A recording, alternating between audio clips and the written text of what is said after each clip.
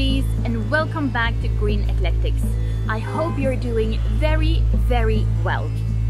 Now this last week we've had amazing weather in London. Uh, actually quite a bit of a heat wave that came in through the country, uh, but it has been absolutely wonderful. And I spent quite a good amount of time in my garden. Um, and that made me think about ways to uh, freshen it up a little bit if you so want. Now, it's nothing wrong with my garden. On the contrary, I'm lucky enough to have quite a big garden, but it looked a little bit tired and a little bit out of date, to be honest. Um, I didn't want to do anything too invasive or too expensive. So um, in this video, I would actually love to show you what I did with a small amount of creativity and just one bucket of paint. Alright, let's skip right into it.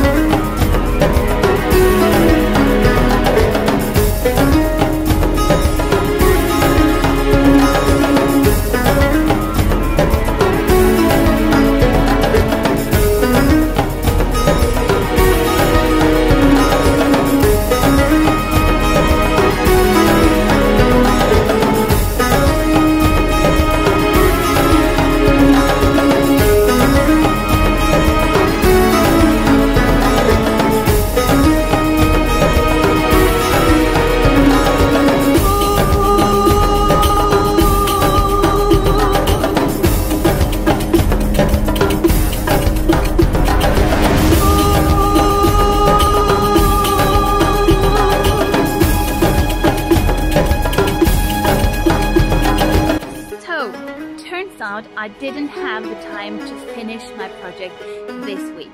However, if you are curious about how my Moroccan style patio turns out, you are more than wel welcome to pop in next time. Uh, and I will show you the finished result of the patio and the rest of the garden as well.